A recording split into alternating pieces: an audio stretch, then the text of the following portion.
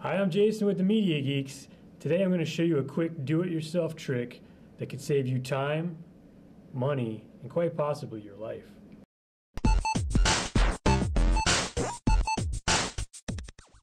A common problem we all have with power cords, especially iPhone and iPad cords, is fraying and breaking at the connector ends.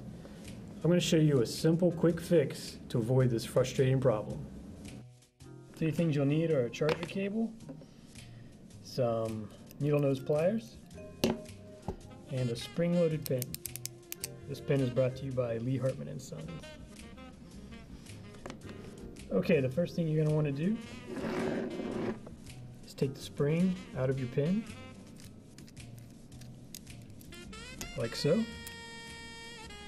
Discard the pin. Take your charger cable and your spring, and with your needle nose pliers, you're going to wind the spring around the end of your connector. This is going to create sort of a do-it-yourself strain release on the cable to prevent that fraying and cracking of the cable that always tends to happen with these.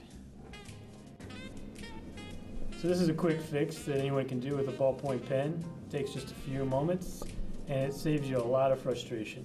I'm Jason with the Media Geeks and this has been this week's One Minute Wonder. Stay tuned next week where I build something out of something. See you next time.